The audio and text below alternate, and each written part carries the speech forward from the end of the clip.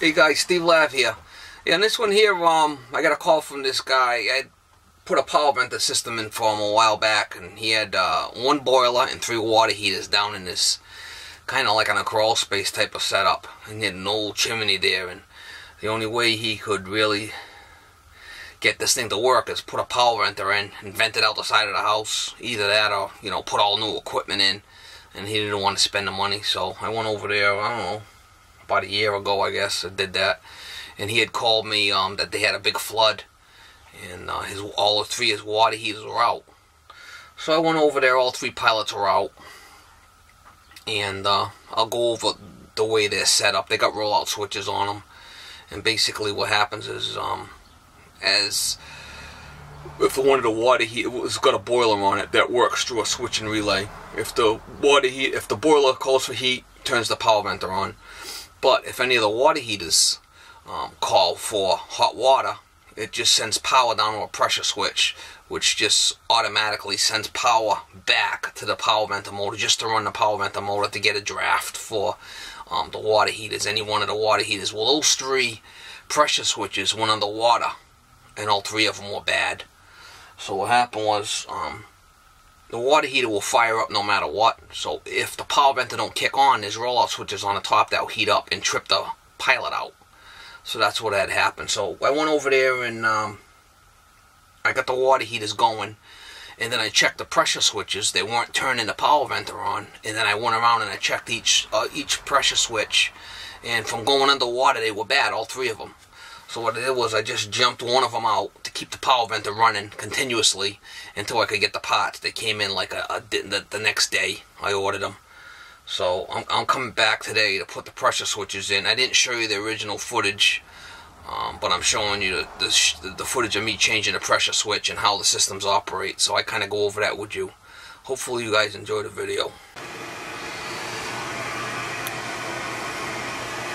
Down at this job here, there's three water heaters. boiler hooked up to a power venter.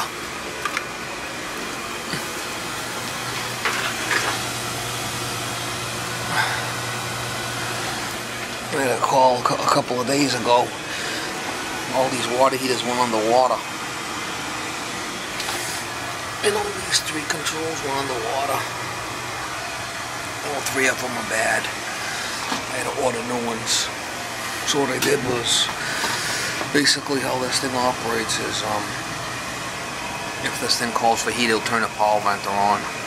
But if any one of these calls for hot water, there's constant power to the pressure switch. Um, as this thing fires, it makes that pressure switch and turns the power venter on. I had to jump this one out. Keep that power venter running. So I gotta change these one, two, three pressure switches. I got new ones right here.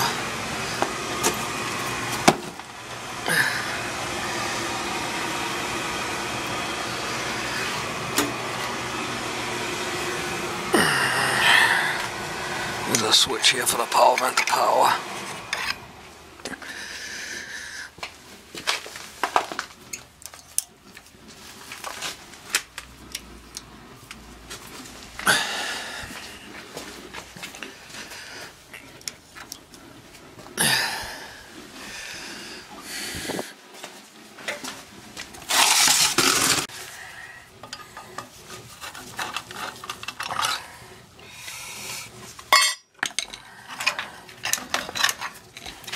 just jump them two wires out on it there to keep it running. Just confirm that the power's off on it.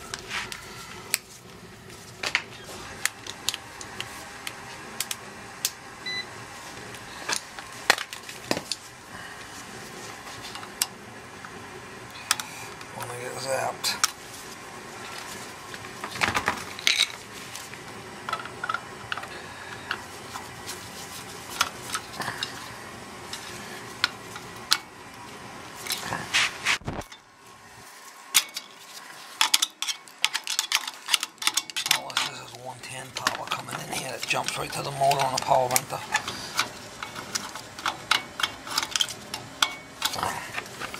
Oh I got this on pilot so it ain't gonna fire up.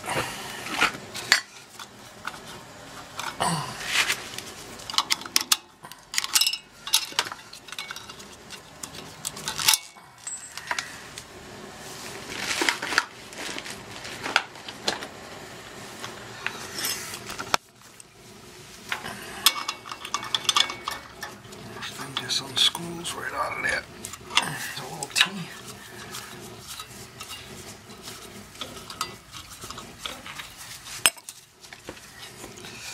It's a little pressure switch.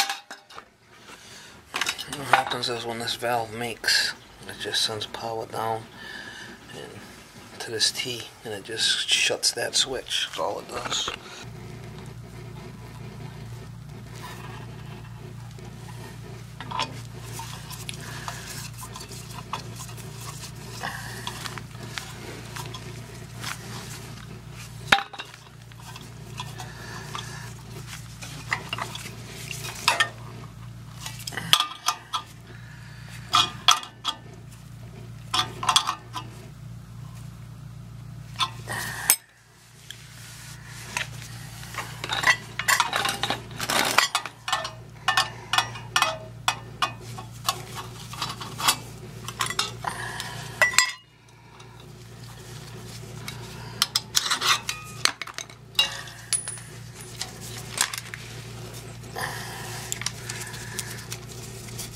All three of them. All three of them. I checked them the last time I was here. Not one of them would turn the power venter on.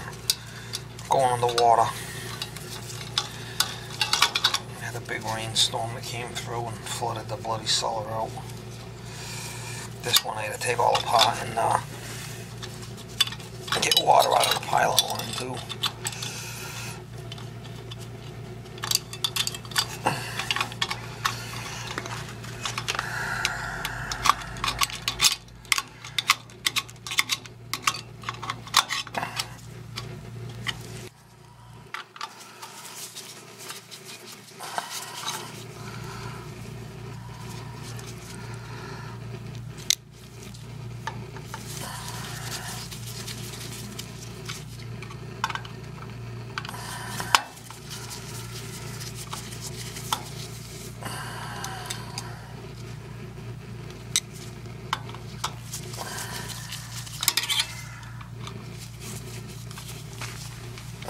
That's it right there.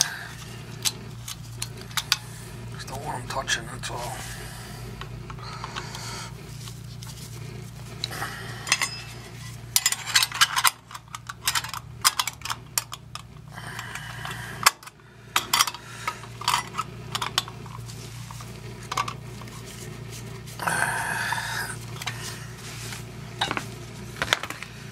The switch don't like to go underwater for some reason.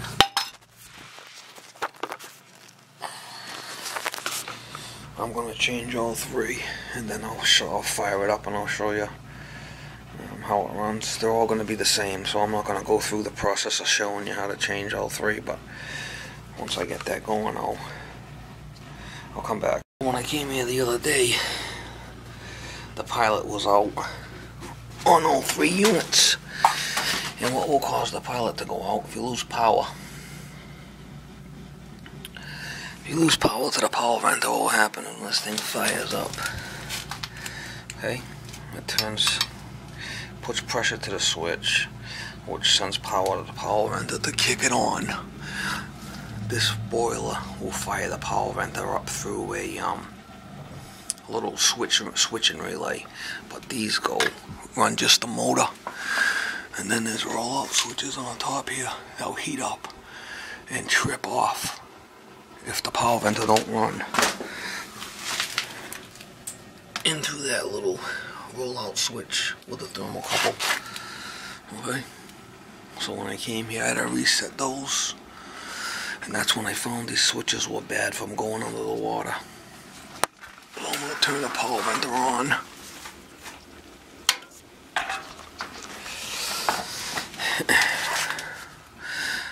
I'll turn this on when I turn this up, I should fire the power venter up.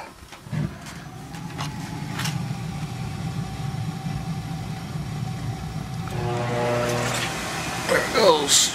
That's how it works. Okay?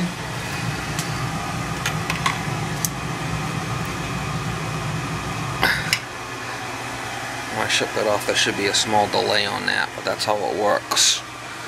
I'm turn these all back on.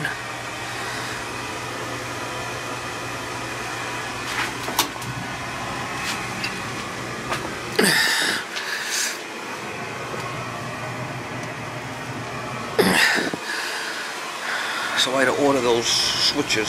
So what I did was I just tied the wires together on that one. And that power vent, it just ran continuously for a day till the switches came in. This guy's back up and running.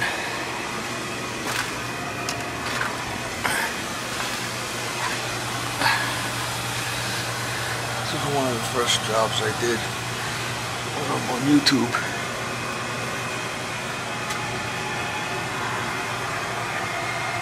Guy had a bad chimney here. We had to put this power vent there in for him. Little wire from the boiler and continue over to pick up the water heater.